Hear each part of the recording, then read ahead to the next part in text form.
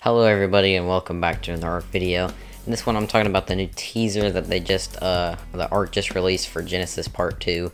So you can see it on the screen right here, they just released it about an hour ago, but for some reason I didn't see it, so I'm making a quick video on it.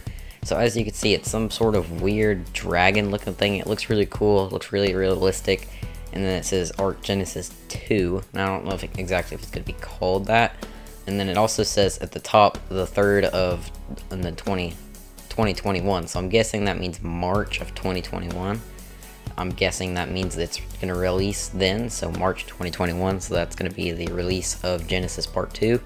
And you can also see there's some space in the background of this picture.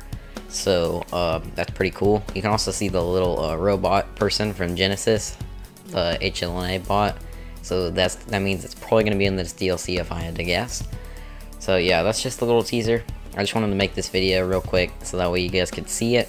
I think it looks pretty cool. I'm guessing that they're going to release some sort of like live stream because that's kind of what they did before is they kind of leaked it and then, you know, they kind of released a live stream.